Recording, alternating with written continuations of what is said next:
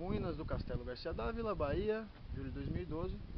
Aqui a visão que tinham do mar. Né? Ficava como ponto de observação para a chegada dos navios.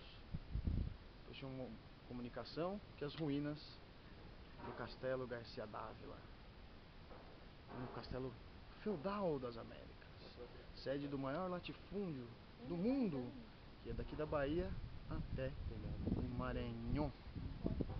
Alunos do sexto ano que utilizamos lá, lembra o Maranhão? Então, ia daqui da Bahia, depois eu mostro o mapa para vocês, até o Maranhão. Aqui, mais uma visão do mar, os coqueiros. Valeu pessoal, tchau, tchau.